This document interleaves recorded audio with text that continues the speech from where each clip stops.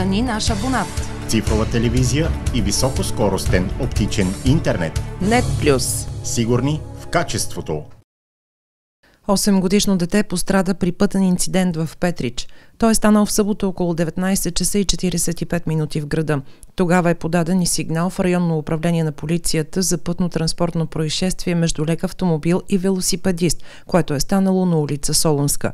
Незабавно пристигналите на място полицейски служители установяват, че лек автомобил, управляван от 22 годишен водач от град Петрич, движейки се по улица Солунска, не пропуска и блъска 8 годишен велосипедист.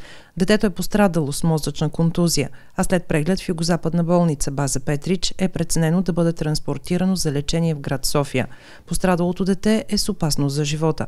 На водача на автомобила са направени проби за употреба на алкохол и наркотици. Те са дали отрицателен резултат. Задържан е от полицията. Стани наш абонат. Цифрова телевизия и високоскоростен оптичен интернет. Нет плюс. Сигурни в качеството.